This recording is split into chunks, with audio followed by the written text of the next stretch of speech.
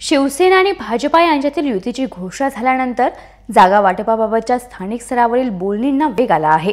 जिथे यंदा नवी मुंबई महानगरपालिकेच्या निवडणुकीचे वातावरण पाहता या दोनही पक्षांमध्ये सत्ता मिळवण्याची रस्सीखेच मतदानापूर्वीच सुरू झाली आहे.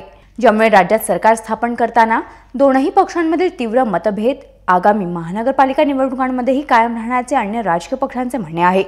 नवी मुंबई काँग्रेसचे जिल्हाध्यक्ष दशरथ भगत यांनी देखील संभाव्य युतीवर भाष्य करताना शिवसेना आणि भाजपातील मतभेद हे महानगरपालिका निवडणुकांमध्ये काँग्रेससाठी फायदेशीर असल्याचे सूचक वक्तव्य केले आहे. नवी मुंबई आवाजच्या बातो में या विशेष कार्यक्रमात त्यांनी या विषयाचे भाष्य केले. ये जो युती हो गई ये खुद को कमज़ोर समझ रहे हैं। ये जो शिवसेना और बीजेपी एक खुद दोनों ताकतवर समझ रहे थे। लेकिन अचानक ऐसी कमज़ोरी क्या आ गई कि वो अलायंस होना चालू हो गया?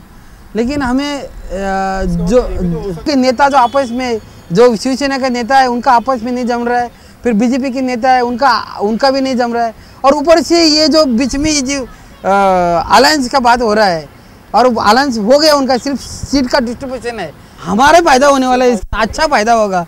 नवी मुंबई आवाज़, ब्यूरो रिपोर्ट।